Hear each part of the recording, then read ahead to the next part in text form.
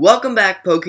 Today, we're looking at kind of a deck, but kind of not a deck. It's a spread damage deck, but it's just cards put together. It's not actually the deck list.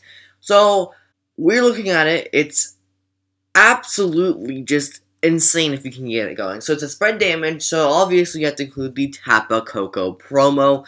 It does 20 damage to each of your opponent's Pokemon, and it's just good for DCE. I mean, you're spreading damage like it's nothing. So it's, I mean, it's amazing. But then you have the Decidueye GX that can do 20 to someone, and then you do the at least if you have two Decidueyes on the field, you can Decidueye twice maybe putting 40 on someone, then doing an extra 20 to them. That's 60 per turn for just a DCE, and that's absolutely amazing. But with Force going out of style, that's not going to be absolutely the best because Force, once it rotates and gets banned, you're kind of in the bad spot.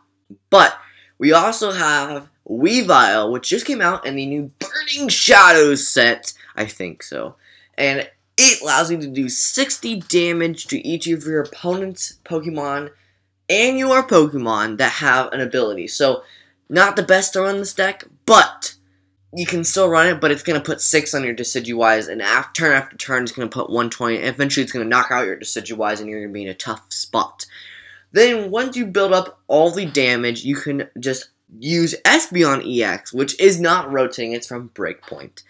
And with Espeon EX, you can evolve all of your opponent's Pokemon, and then it will take knockouts. And like if you have a Gardevoir, it's gonna Kirlia, and you have like at least over 90 or 80 on it. It's gonna knock it out, and then they can't place the Gardevoir next turn, and then they're in a bad situation, and then you're knocking out everything.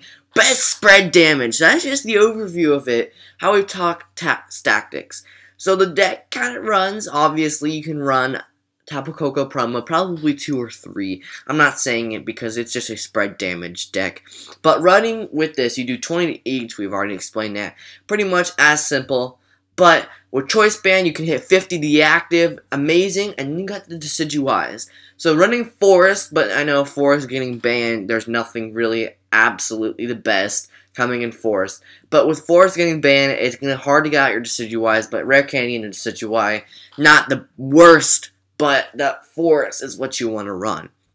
But until then, run the spread damage deck, and then you have all the opportunity. And if you get two Decidueyes on your bench, you can get yourself in a magical 40 damage, so whatever you want, and then just just going straight through and hitting for 40 to whatever, maybe 50 with your active, and you can hit 40, 50 with the active. You can hit 90 the active for just a DCE. I mean, that's not the best, and you're not doing anything.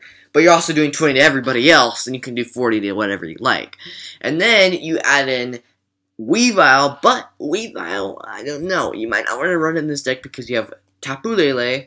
You also have your Decidueyes and that's just going to do 60 to them, and you kind of don't want to do that unless you want to devolve your. To, you can't do that. I mean, Weavile in this deck is just an opportunity if you don't want to Decidueyes, but Decidueyes are pretty good in this deck. But with that, once you rack up enough where it's a stage 2 or 1, or it's basic, gets knocked out, then you can use Espeon EX to devolve and I can devolve the uh, highest stage and put it into their hand, and then it will take knockouts on all of the on all of the stage ones or basics. So, for an example, you have Gardevoir GX, a really popular deck in the meta right now, and if you say so myself. Gardevoir has 230, and this deck is going to be tough to hit for 230. You can hit with Decidueye for 90, you can also hit for you can also hit for Koko for 20, but that's or you can use the Decidueye's uh, ability to allow him to do 40 or 20 to anywhere. But in this deck, it's gonna be tough to defeat a 230.